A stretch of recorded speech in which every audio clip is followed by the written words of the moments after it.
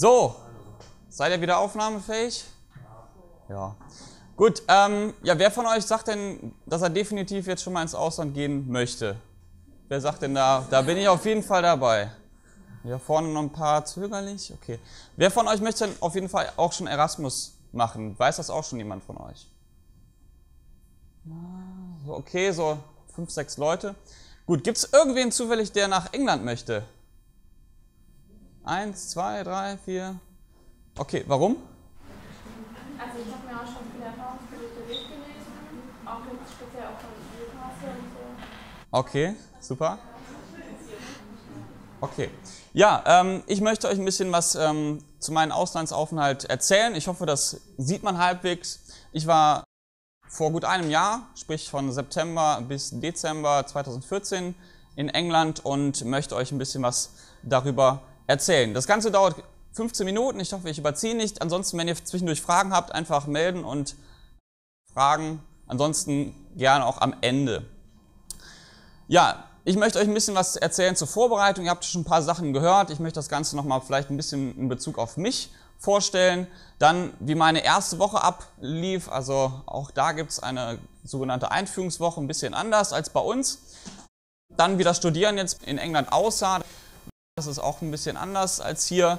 Welche Fächer ich belegt habe, wo ich gewohnt habe, was ich sonst so neben dem Studium noch unterwegs gemacht habe, was ich für Prüfungen absolviert habe. Dann vielleicht für den einen oder anderen interessant, ähm, wie das Ganze auch kostentechnisch zu betrachten ist, weil das war vor allen Dingen für mich am Anfang, bevor es nach England ging, so eine Frage, wo ich sage, was kostet denn so ein Spaß überhaupt? Ich habe das Ganze jetzt mal für mich ein bisschen aufgestellt. Natürlich gibt es da wieder Abweichungen für den einen oder anderen, der vielleicht ein bisschen mehr dann irgendwo feiern geht, aber tendenziell ist das schon mal so eine Idee. Am Ende dann ein Pro und Contra und ein abschließendes Fazit. Ja, zur Vorbereitung. Ähm, ich habe, wie ihr, auch heute erstmal an einer Informationsveranstaltung teilgenommen, mich erstmal so ein bisschen beraten lassen. Das ging dann weiter, dass ich dann ein persönliches Gespräch auch mit der Frau Petri hatte, um das Ganze nochmal ein bisschen vielleicht äh, ein paar Fragen nochmal zu stellen und das Ganze ein bisschen einzugrenzen. Dann musste ich äh, entweder mich entscheiden, einen TOEFL-Test zu machen oder Wirtschaftsenglisch 3, was eben leider jetzt keine Credits ähm, gibt auf dem Abschlusszeugnis. Es wird dann nur als Zusatzfach aufgeführt. Aber ich habe mich eben dazu entschieden, ähm, Englisch 3 zu belegen oder Wirtschaftsenglisch 3. Ähm, habe das in einem Semester, ich glaube, es war das vierte bei mir, zusammen mit Englisch 2 belegt und ähm, das wird auch eben anerkannt. Ansonsten, ähm, genau, habe ich mich dann ungefähr ein halbes Jahr vorher ähm, diese Bewerbungsschreibung fertig gemacht und mich für drei Universitäten beworben. Ich habe mich beworben für Newcastle, dann Nottingham, was ein bisschen südlicher ist in England und Trondheim in Norwegen. Und ähm, ja, wie ihr gesehen habt, ich habe auch den ersten Wunsch auch bekommen. Nach der Zusage durch das International Office ging es dann weiter, dass ich die Exchange oder Articulation Direct Application Form, wunderbarer Begriff, ausfüllen durfte und das dann eben an die Auslandsuniversität geschickt wurde. Dann muss ich die Program Option Choice Form ausfüllen. Das heißt, da gibt es so, eine, so ein Blatt, wo die ganzen verschiedenen Fächer, die angeboten werden, die für mich theoretisch machbar sind, die werden da aufgeführt und ich muss dann sagen, okay, was würde vielleicht für mich interessant sein, muss das Ganze von 1 bis 10 ranken, also 10 sage ich mal, okay, das Fach würde ich am liebsten machen. Was am Ende dann ich für Fächer bekomme, das kann ich leider nicht beeinflussen. Also da musste ich in Anführungszeichen das nehmen, was mir dann zugeteilt wurde. Die Kursinhalte mussten dann eben mit dem zuständigen Professor, der dann eben ähm, abstimmt, welche Fächer ich mir in Deutschland anerkennen lasse, es hat ein bisschen gedauert, das ganze Verfahren, also auch da schon ähm, für euch zur Information, macht es lieber ein bisschen früher, als das nach hinten rauszuschieben, weil das ist manchmal nicht so einfach. Ja, dann muss ich das Learning Agreement ausfüllen, sprich einmal meine Fächer, ähm, die ich in England machen möchte und die deutschen in Verknüpfung und so weiter. Das habt ihr eben kurz gesehen, aber das kommt dann erst alles später auf euch zu. Und dann kriege ich irgendwann, ähm, habe ich einen Zugang bekommen zu dem Studentenportal. Das ist bei denen alles ein bisschen IT-lastiger als bei uns. Ähm, das heißt, es ist so ein bisschen wie unser OSSC, aber viel komplexer. Also da kann ich wirklich meinen kompletten Stundenplan konnte ich schon sehen. Ich muss mich dann natürlich darum kümmern, wo ich äh, wohnen möchte. Ich habe mich persönlich dafür entschieden, in äh, ein Studentenwohnheim zu gehen. Einfach äh, aus dem Grund, weil man dann mehr mit Leuten einfach aus anderen Ländern oder mit den Engländern zu tun hat. Ähm, ein anderer Kommilitone, der ähm, ein anderes äh, Fach hier an der HSD äh, belegt, der ist in ein anderes Studentenwohnheim gegangen. Tendenziell war das für mich auch ganz gut. Man kann auch versuchen, da selber irgendwo eine Bude zu finden. Für drei Monate, die es bei mir sind, ist das relativ kurz. Also ist die Frage, ob man da, da was findet. Aber auch das kann man da gern machen. Und ich habe natürlich die Flüge gebucht ähm, und dann ging es dann los. Immatrikulieren konnte ich mich auch bereits äh, online, das heißt, ich musste dann so einen äh, Fragebogen alles angeben, ein Foto hochladen und ähm, das war auch sehr unkompliziert. Ja, dann ging es los, ab nach England. Im Flugzeug erst äh, bin ich nach London geflogen und von da aus dann weiter.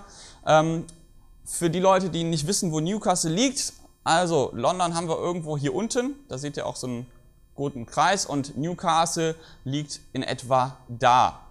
Hier oben fängt dann auch Schottland schon an, also es ist relativ weit im Norden. Es ist aber von den Temperaturen, fand ich es eigentlich noch ganz angenehm. Ja, wie sah meine erste Woche aus? Ich wurde erstmal am äh, Flughafen durch den kostenfreien Meet and Greet Service abgeholt. Das heißt, ich habe vorher eine E-Mail bekommen. Ähm, es gibt so einen Meet and Greet Service, möchtest du den äh, nutzen? Das heißt, ich musste ihnen einmal sagen, okay, ich komme dann und dann an. Und dann hatten die so einen großen Stand am Flughafen aufgebaut, wo man dann erstmal empfangen wurde, eine SIM-Karte bekommen hat fürs Handy und Informationsbroschüren und dann wurde man eben im Taxi kostenfrei zum Wohnheim gefahren. Fand ich eine super Sache und man hat direkt schon mal ein paar Kontakte knüpfen können mit den anderen Studierenden, die auch an dem Tag angekommen sind. Dann ging es ins Wohnheim, zum Wohnheim gleich nochmal ein bisschen mehr, wie das bei mir aussehen. Und man konnte sich eben mit den anderen Auslandsstudenten ein bisschen kennenlernen. Dann gab es bei mir in der ersten Woche die sogenannte Undergraduate Welcome Week. Das heißt, da gab es zahlreiche Willkommensveranstaltungen an der Universität und halt auch des Fachbereichs. Bei uns ist das Ganze schon sehr ähm, fokussiert auf den Fachbereich hier, finde ich, oder auf den, auf den Studiengang. Da ist das erstmal so, wir sehen gleich auch noch ein paar Fotos, dass wirklich erstmal alle Studenten, die äh, anfangen, zusammengeholt werden. Ähm, dann gibt es eine große Messe, wo dann wirklich alle Studentenvereinigungen und so vorgestellt werden und äh, alle Sportveranstaltungen, was, wo ich ziemlich erschlagen wurde, was es da alles gibt. Also bei uns gibt es in Deutschland ja eher dieses Vereinsleben vielleicht und über die Studenten äh, gibt es vielleicht den Aster und noch ein paar das Studentenwerk, aber da gibt es nicht so viel. Und bei denen gibt es alles. Also äh, die verrücktesten Sachen, ob man sämtliche Sportveranstaltungen äh, oder Sportstätten äh, besuchen möchte, da gibt es eine riesen Auswahl. Dann gibt es äh, einen sogenannten Teambuilding Day, den wir hatten, ähm, wo wir in unterschiedliche Gruppen eingeteilt wurden und dann so ein aufwendiges Planspiel gespielt wurde und man dann äh, verschiedene Waren kaufen und verkaufen musste und so weiter. Auch ganz lustig. Ähm, und dann gab es eben nochmal so eine Einführungsveranstaltung in so einem Studiengang, wo man dann auch so verschiedene Tests gemacht hat, zum Beispiel, wo man vielleicht eher nachher der Typ für ist. Genau, und ähm, wie das dann aussah, habe ich ein paar Fotos mitgebracht. Das heißt, weiß nicht, ob man es ganz sieht, also das ist eine riesen Sporthalle. Man sieht jetzt hier so ein paar ja, es sind schon einige tausend Studenten, die angefangen haben und wir saßen da mit da drinnen. Das ist diese Willkommensmesse hier unten. Das heißt, es war auch eine, eine Turnhalle komplett mit Ständen aufgebaut, wo ähm, alle sich vorstellen und man sich einschreiben konnte in Newsletter oder sonst irgendwo. Ähm, weiter ging es dann eben mit dieser Induction-Event, so hieß das bei denen wo wir dann äh, alle so Cowboys waren und irgendwelche Hüte anziehen mussten und jeder hatte, wir hatten jetzt orangene Tücher, andere hatten dann blaue Tücher und so weiter. Sehr lustige Sache. Ja, ansonsten zum Studieren äh, in England, ähm, jeder kriegt da so eine Studiencard. Ähm, das Ganze ist ein bisschen aufwendiger als bei uns, als wir das kennen. Nicht so ein Papierzeug, sondern eine ganz normale Kreditkarte quasi und die könnt ihr wirklich für alles nutzen. Also es ist nicht so, dass man dann nochmal eine für die Mensa braucht, nochmal eine für die Bibliothek braucht. Ähm, man kann mit der überall rein, man kann in die Bibliothek gehen, man kann sich Sachen damit ausleihen, man kann äh, die ganzen Sportveranstaltungen teilnehmen, man muss für die Anwesenheit bei den einzelnen Seminaren, muss man sich dann einmal registrieren, dass man da gewesen ist, also das ist mit Anwesenheitsliste. Ansonsten gibt es Blackboard, das ist so, ein, so eine App bzw. ein Online-System.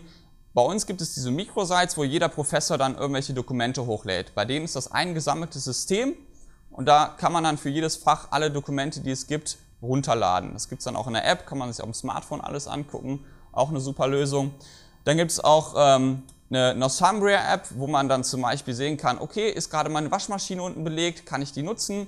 Ähm, solche Sachen auch interessant, dann kann man zur richtigen Zeit runtergehen und die Wäsche auch wieder rausholen. Dann Bibliothek, äh, was ich persönlich sehr geil fand, die war äh, 24-7 offen, also wirklich jeden Tag 24 Stunden und ähm, dann konnte man auch mal 2 Uhr nachts da mal reingehen und äh, entspannt irgendwas nachgucken oder so. Ich persönlich fand das ganz angenehm, vor allen Dingen, weil es echt in den letzten Tagen im Dezember sehr voll wurde. Also da hat man nirgendwo mehr einen Platz bekommen, obwohl man am Anfang gedacht hatte, hier stehen 50 Computer, die können dann niemals alle gebraucht werden. Doch, können sie. Auch den Stundenplan ähm, gibt es digitalisiert, das heißt, ich kann mir den direkt in meinen Kalender ins Handy eintragen, kriege dann automatisch eine Erinnerung, hey, gleich geht's los mit Ort und so weiter. Das Fachbereichsgebäude ist aus dem Jahr 2007, also ziemlich nagelneu.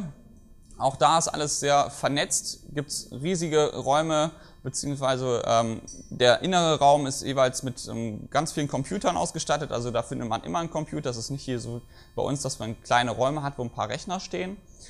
Das Gebäude, man sieht es hier relativ dunkel, ähm, ist halt ziemlich groß schon. Es gibt halt am Außen- und äußeren Rand sind die ganzen Seminarräume, in der Mitte die Computer alle zur Verfügung und dann gibt es unten im Erdgeschoss gibt es dann nochmal vier große Vorlesungsräume. Zu meinen Fächern. Ich hatte die Fächer IT Management, Marketing, Planning and Research sowie Personal and Organizational Development. Und ähm, einfach noch, ähm, das war ESAP, beziehungsweise English for Special Academic Purposes. Ähm, möchte ich nicht so stark darauf eingehen. Das dritte Fach hier, was ihr seht, ist so ein bisschen wie der Employability Workshop. Das heißt, wie kann ich nachher ins Berufsleben gehen? Das Ganze natürlich auf den englischen Raum bezogen. Dann äh, ESAP ist ähm, so ein bisschen was wie Projektseminar Thesis, das heißt, wie zitiere ich richtig, wie kann ich Sachen umschreiben und so weiter.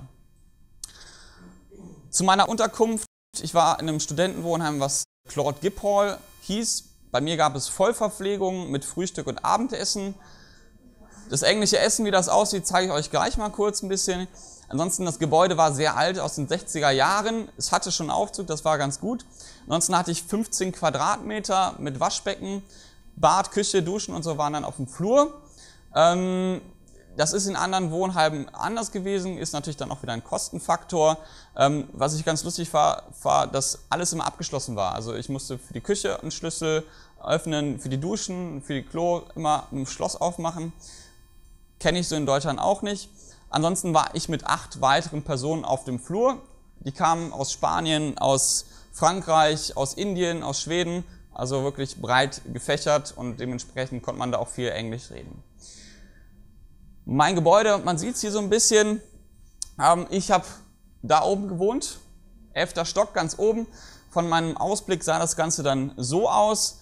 Äh, das heißt, hier noch ein paar Unigebäude, hier die wunderbare Autobahn, auch nachts immer schön äh, laut, ähm, genau, und man sieht es leider nicht, aber das Fachbereichsgebäude, das war dann hier hinten um die Ecke. Das heißt, ich war direkt auf dem Campus, habe ich gewohnt und war innerhalb, wenn ich mich beeilt habe, so sechs, sieben Minuten dann am Fachbereichsgebäude. Ja, zum Essen, äh, das sah dann in etwa so aus. Das heißt, ich habe hier einmal so eine Tomatensuppe gehabt, einen kleinen Salat mit Camembert, ähm, englisches Curry mit Reis und hier ein äh, trockener Kuchen.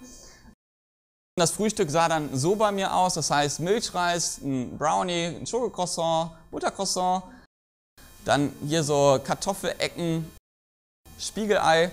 Also ähm, man merkt schon ein bisschen, wenn man da was Besseres haben will, dann muss man eben mal einkaufen gehen, ging auch. Aber es war halt auch zwischendurch mal Zeit, einfach mal ein Bierchen trinken zu gehen und äh, Fußball zu gucken. Man sieht es hier so ein bisschen. Auch das ging mal. Damit komme ich auch direkt schon zum äh, Leben neben dem Unileben. Also es gibt da sehr viele Angebote durch die Communities, wie eben auch schon gesagt. Die Innenstadt ist wirklich 10 Gehminuten entfernt, also das ist wirklich ein Katzensprung.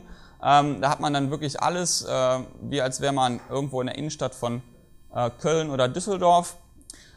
Das Meer ist auch wirklich nah, das heißt, äh, man ist eine halbe Stunde ungefähr am Meer. Auch das ist ganz schön. Ja, man kann natürlich auch ähm, viel in Newcastle machen, das heißt, äh, Newcastle zum Beispiel in der ersten Liga vom Fußball, in der Premier League.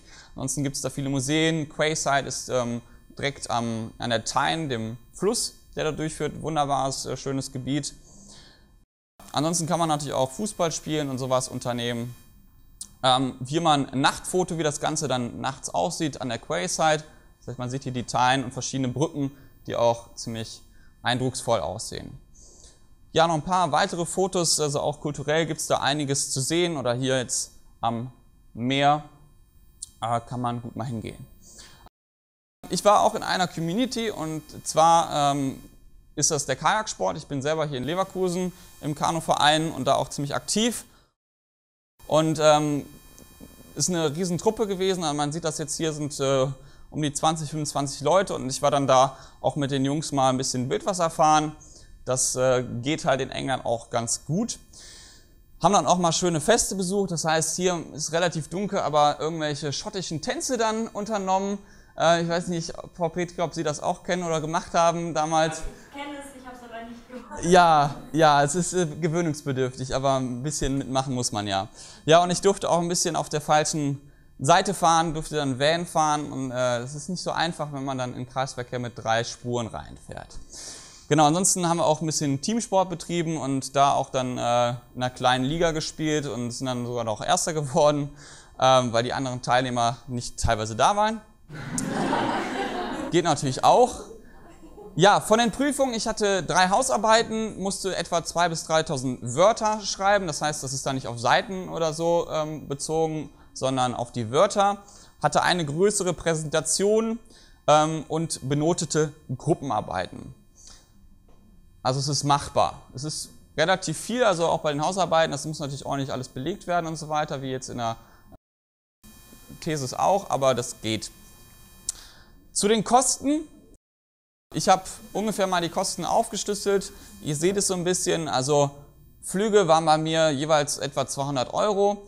Die Unterkunft relativ teuer mit äh, 3000 Euro für vier Monate, wovon ich nur drei Nutz Monate nutzen konnte. Der letzte Monat, den konnte ich jetzt auch nicht sagen, nee, den brauche ich nicht. Nein, den musste ich zahlen. Ähm, genau, mit meiner EC-Karte habe ich ungefähr 1000 Euro bezahlt, Kreditkarte ungefähr 300, Bar dann nochmal 600 Euro. Genau, ansonsten Erasmus waren bei mir der höchste Satz mit äh, etwas mehr als 1000 Euro und den Rest musste ich dann eben selber zahlen. Na, also auch da gibt es natürlich nach oben und unten bestimmt Abweichungen bei dem einen oder anderen, aber wenn ihr jetzt nach England gehen würdet, ich denke mal ungefähr so wäre das der Beitrag. Ja, kommen wir schon zum Abschluss beziehungsweise zu meiner Pro- und Kontraliste. Also ich fand, ich habe meine Englisch-Skills auf jeden Fall gut verbessern können, habe einen internationalen Austausch, habe viele ähm, Leute kennengelernt das Studentenleben ist da sehr angenehm. Ähm, abgesehen von meinem Wohnheim ist die Modernität da wirklich deutlich weiter als bei uns. Und die Stadt ist echt äh, super, fand ich. Also da gab es viel zu sehen.